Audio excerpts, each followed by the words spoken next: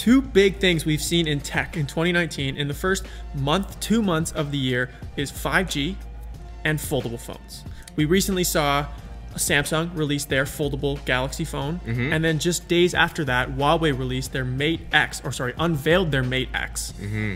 foldable phone. So it has me questioning, it has us questioning, what will the other tech giants do, like Apple and Google? Will they release a foldable phone, or is this foldable phone craze kind of like just a laughable novelty, similar to the Google Glass that came out a few years ago? A lot of people have been sort of conceptualizing what the latest Apple foldable phone will look like. And if we show it on the screen right now, this is what it looks like. It looks kind of cool. Now, it's similar to what Huawei unveiled without that chin or the grip. It's like a standard folding piece of glass. So these are just concepts, but we do know that Apple has actually been working on some patents for a mm. foldable phone, and not just a half fold. They've also been working on a patent with a, a tri-fold, mm-hmm. which could be kind of cool. We're not sure if this is tailored towards the iPhone. It could be for the iPad or kind of like a, a mix of both. Yeah. It might also be for a new MacBook. We're not entirely sure.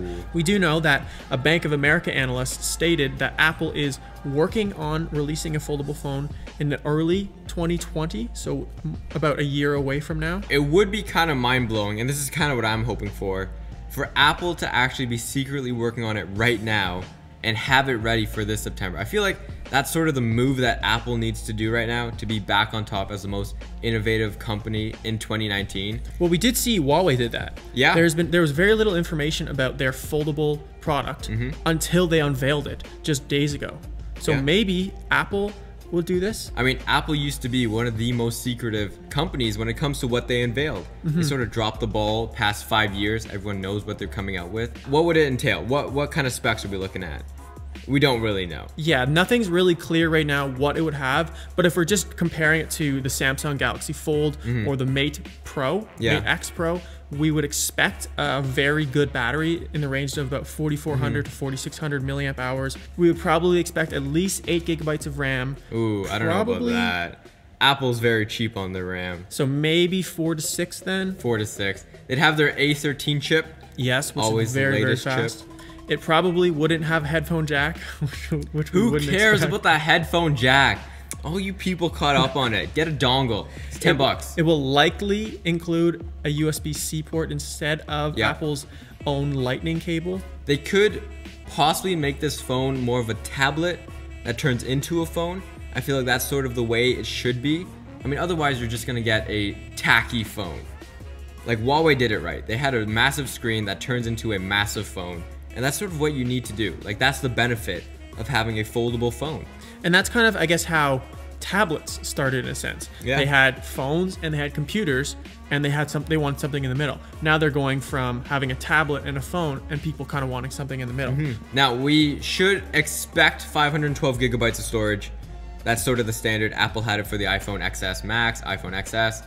Rumors of a terabyte, Possibly. possibly. That's Not what they sure. did with their latest iPad. iPad Pro has a terabyte of storage, which is insane. Price wise, we will expect it to be very expensive. The Galaxy Fold is coming in at $2,000. Yep. The Huawei Mate Pro is coming in at 2600 American.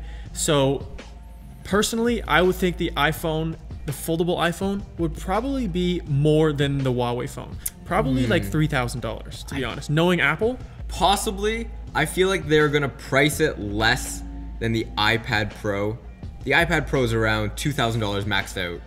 I feel like they'll have it around there, but foldable technology, but if they're pitching it as a an iPad Pro slash phone, that could just one up the price. that would one up the price. I'm hoping for a sub $2,000 phone. Otherwise, no one's gonna buy it. The phones that have been unveiled are just a one fold. Mm-hmm. Apple is patented something with a trifold. That could be pretty cool to see. Whether that is kind of like a- an S form, or mm-hmm. maybe Apple is gearing towards a hundred percent foldable phone where it's just hundred percent flexible. Maybe somewhere like a wearable in the transition phase between a watch and a phone. Maybe that's the direction that Apple's going to. So another thing that we saw with the patent was so Huawei we know that it folds out. And Yes. then and then Samsung kind of folds in Yes. the screen wise.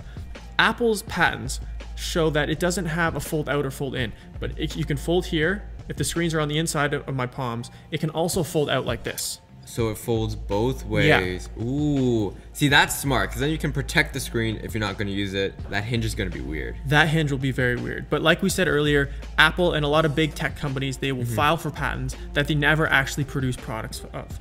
So these are just our speculations and concepts. If there are cool new rumors that you guys think of or have researched on for the foldable iPhone, let us know in the comments down below. And subscribe if you're new.